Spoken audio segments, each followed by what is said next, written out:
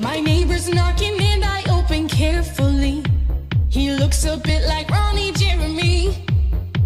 He's screaming at me, damn you little albatross, while he smells like chips and Calvados.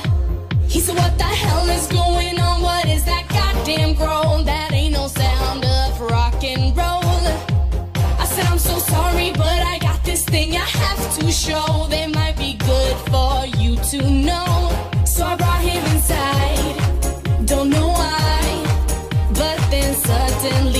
Just passed out.